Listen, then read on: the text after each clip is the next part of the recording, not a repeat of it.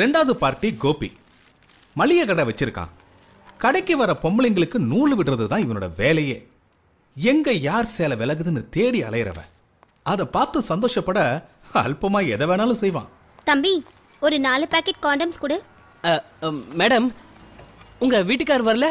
வழக்கமா இந்த மாதிரி பொருள் எல்லாம் அவர் தானே வாங்குவாரு? அவர் கொஞ்சம் வெளியூர் போயிருக்காரு. எனக்கு கொஞ்சம் அவசரமா தேவைப்பட்டுச்சு அதான் நானே சரி. சரி இந்தாங்க.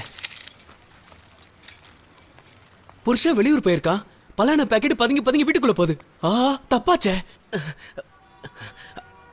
ஆத்து தண்ணி யார் குடிச்சா என்ன? பாமா மேடம்? உங்க அஞ்சு ரூபா காயின் கீழே விழுந்திருக்கு பாருங்க. எடுத்துக்கோங்க.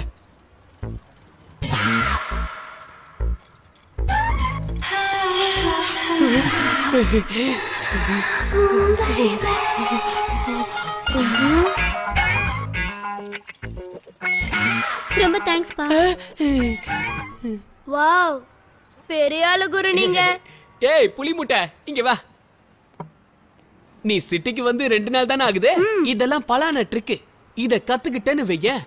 நீ தேட்டருக்கு போய் ஜூலி படம் பார்க்க வேண்டிய அவசியமே இல்ல. அஞ்சு ரூபா செலவுல லைவ் டெலிகாஸ்டே பார்க்கலாம். சரி அதெல்லாம் இருக்கட்டும். மெத்த கபடி ஆடி இருக்கிய? இல்ல குரு இது வரைக்கும் மைதானத்தை பார்த்ததே இல்ல. அச்சோ புலி முட்டை. நீ கவலைப்படாத. இன்னும் ஒரே வாரத்துல இதுல நான் உன்னை சாம்பியன் ஆக்கி காட்டுறேன். இப்ப கடை வேலையை கவனிப்போம் வழி விடு.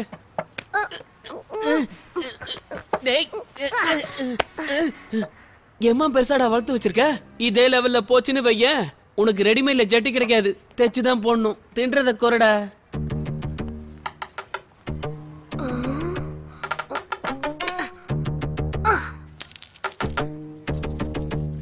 மேடம் ஒரு நிமிஷம்? உங்க அஞ்சு ரூபா கண் கீழே விழுந்திருக்க எடுத்துக்கோங்க. ரொம்ப தேங்க்ஸ் ஏ ராசம்.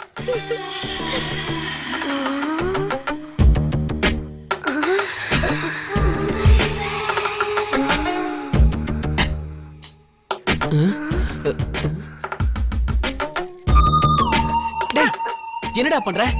என்ன குரு? சீன் பாத்துக்கிட்டு இருக்க இதுக்கு போய் திட்டுறீங்களே.